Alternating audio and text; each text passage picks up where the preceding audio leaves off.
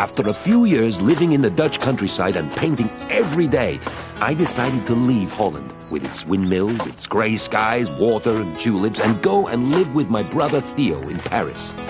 So I set out with my heavy bag, stuffed full of paints and brushes and canvases. I would be joining my favorite brother in the big city. Was it an adventure? It should have been. There was an exciting group of painters in Paris. My brother, who knew some of these painters, arranged for me to meet them. Now that photographs could make pictures look so real, painters had to find new ways to make pictures. We discussed new ideas and new ways to paint.